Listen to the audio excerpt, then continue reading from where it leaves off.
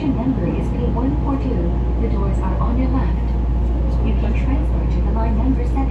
허리, 어깨, 무릎, 아플 때 척추 관절 치료 세운병원으로 가실 분은 이번역 1번 출구로 나가시기 바랍니다.